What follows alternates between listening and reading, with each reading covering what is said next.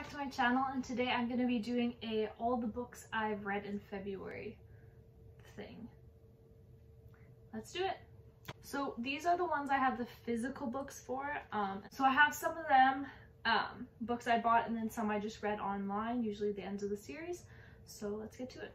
So the first book I read in February was The Bookworm Crush by Lisa Brown Roberts. This one was a cute little romance contemporary read that I flew through. So the second book I read was Meet Me at Midnight by Jessica Pennington. Pennington. Um, this one was pretty cute as well. I started off February with a few contemporaries.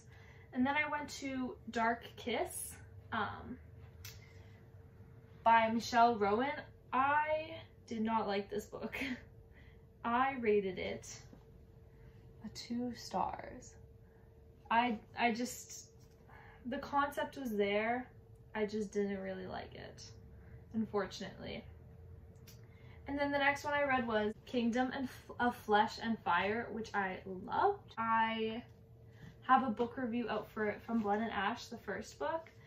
Um, I didn't have one out for this because I got it in the mail and I read it right away.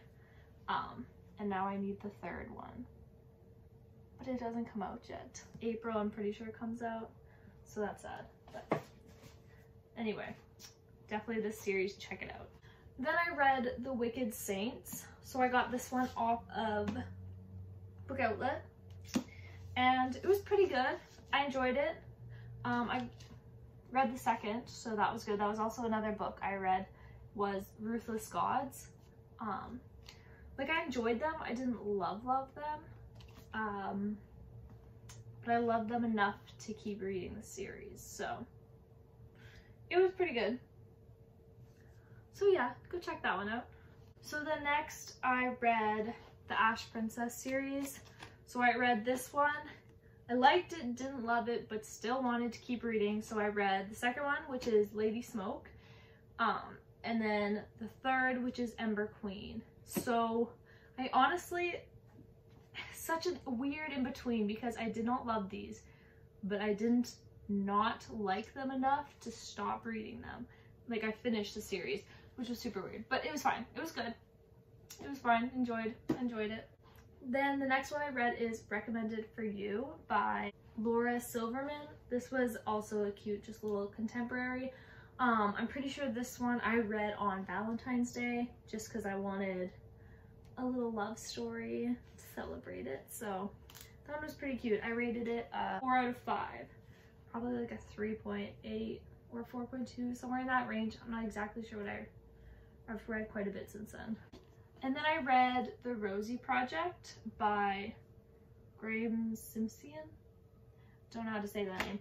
This one was really cute. Um, a really it's interesting it was more it was different than um the books i usually read so i really enjoyed that and it was in the point of view of someone with asperger's so it was his scientific brain and how it was working and i thought that was really cool um in his eyes like to see how he thinks. So if you haven't checked this one out go check it out.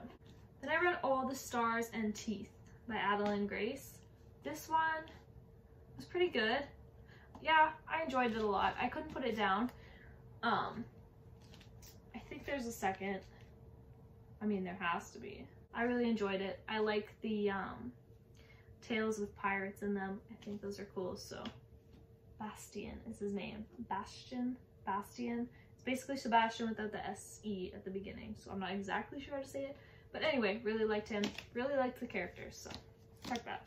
And then the one I was the most excited for this month um, I have a book review coming up for it. I read it a couple days ago.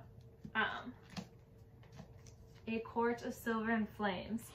I had no idea it was this big when I got it, but I loved every second of it. So amazing. I have so many thoughts, but I'm not to get into them. Stay tuned for the video next week of this. Of this review. This review. That's what I'm trying to say. But anyway, definitely read this series if you have not. Any Sarah J Maas and any Jennifer L. Armentrout books, I will forever recommend. As you can see, I have Jennifer L. Armentrout, Jennifer, Jennifer L. Trout, Rhysand and Feyre, which is in this series. And yeah.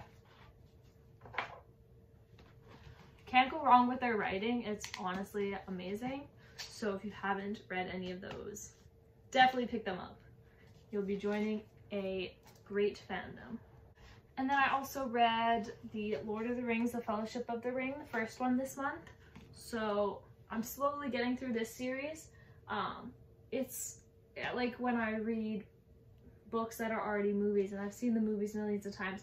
I've also read this book and The Hobbit a long time ago. So I'm just kind of trying to go slowly, go through all the details, a couple chapters a day while reading other stuff. But then I have the rest of the series here to finish. So this one was also a good one this month. So yeah, that was all the books. I believe it was 13 in total that I read this month. Um, had a bit more time to read. So not mad about it. So that's it for this video. If you like this video, hit like and subscribe. And I make videos every week and I will see you next time.